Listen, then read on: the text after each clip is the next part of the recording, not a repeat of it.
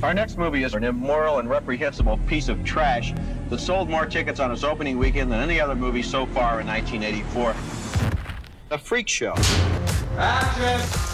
Try to understand the full story because we're a different kind of monster. It was a little film with no money.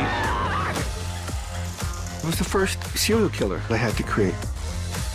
You cannot predict what's going to be a hit.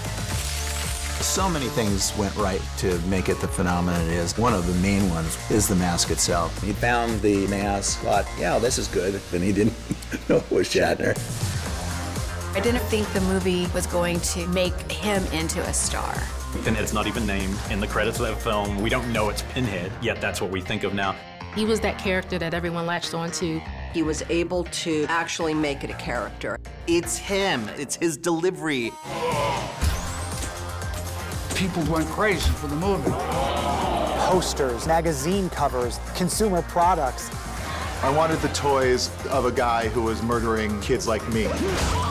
Candyman! Candyman! This is a little deeper than your average horror film, and I enjoyed it a little more.